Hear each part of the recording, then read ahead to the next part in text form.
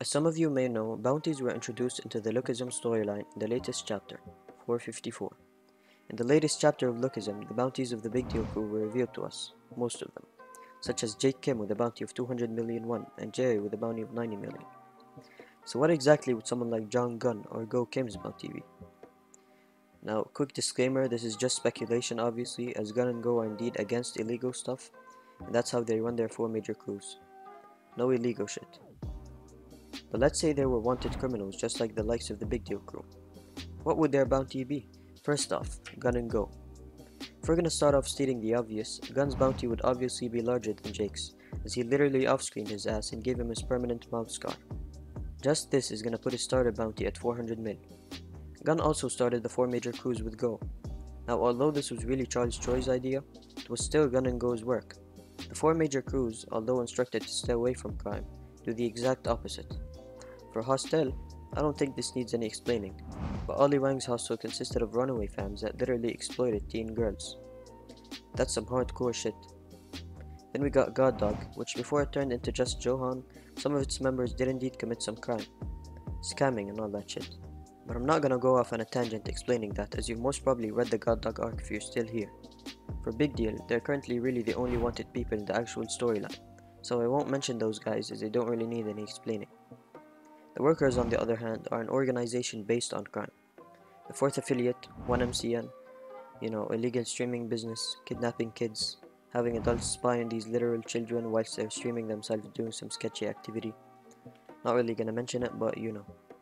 The third affiliate, we got Hotel Vivi, bunch of kids doing drugs and raping some other kids. Really some messed up shit. These kids were literally hidden in a moving room and they still managed to hide this shit from Goo. Anyway, the second affiliate, underground fighting cell, fight to the death, only one man survives, killing 99 people in front of a crowd of idiots and Tom Lee. Which is pretty much another idiot fella. Then we got the sketchy underground prison shit going on with the first affiliate, which we still don't know much about, but you get where I'm going with this here. And even though Gun isn't really doing this, he is in charge of the four major crews in general, and without him, the workers as well as the other major crews wouldn't really be popular, or known, or even successful in the first place. Oh, and go to. After all this, I'm to be placing Jonggun and Jungo's bounties at the same spot because nothing else is really significant compared to what they did with the four major crews. So I'll put their bounties at 2.5 billion won.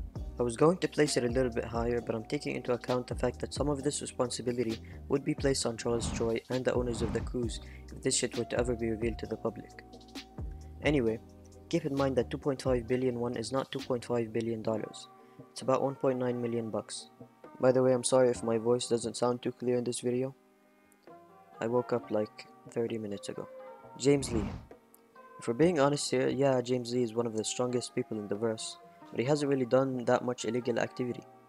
So I'm gonna switch it up for him.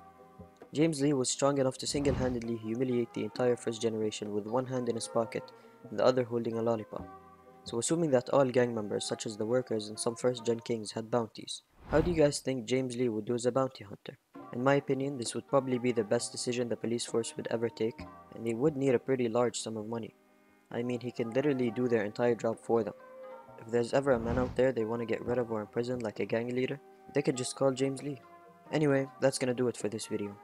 Comment down below who you think would have a bounty in Lookism and what it would possibly be. And also thank you for the support on the latest video. I actually do appreciate it.